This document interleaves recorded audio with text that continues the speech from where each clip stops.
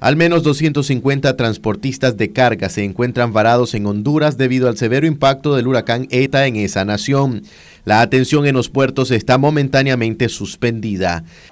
Este documento que tenemos aquí es un documento de la empresa portuaria nacional de Honduras con la aduana de Honduras y Coperco que es el SINAPREC en Nicaragua.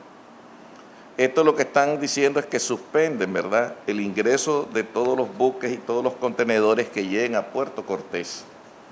Y desde el día lunes, que se suponía que el martes específicamente entraba el, fenómeno, desde el día martes que empezó a llevar en Honduras, la empresa portuaria suspendió las labores. En este momento tenemos un incidente más que está entre San Pedro Sula y Tegucigalpa, en un lugar que le conocen como La Pimienta, pertenece al municipio de Villanueva en, eh, en Honduras.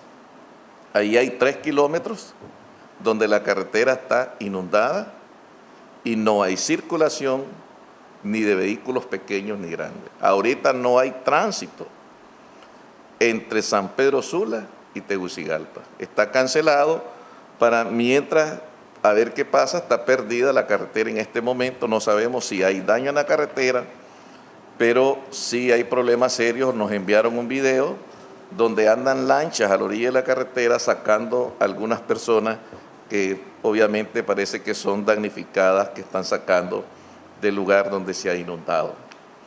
Eso creo que debe ser una situación de alerta para que todos los exportadores de Nicaragua en este momento no estén enviando mercancías porque no van a pasar esa zona. Nosotros ahí tenemos camiones ya parados por esa circunstancia, ya nos enviaron videos los, los conductores que están parados porque no hay pasada en la zona. Las autoridades de Costa Rica, de Honduras tienen este, cerrado el paso para todos los medios de transporte, incluso para vehículos livianos.